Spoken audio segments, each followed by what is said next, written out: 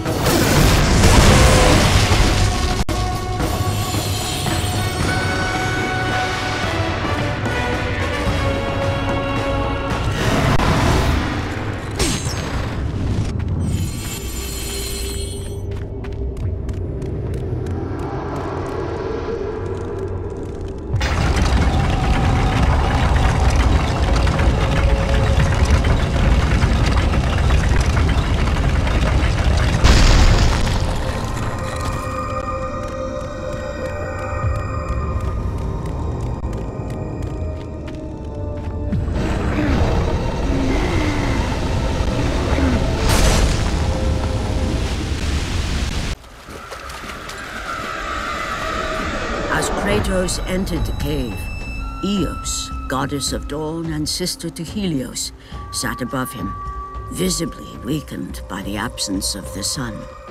All glory be to Lord Zeus for granting you safe passage to me. The king of the gods does not aid me, Eos. I am but a slave to Zeus and Olympus.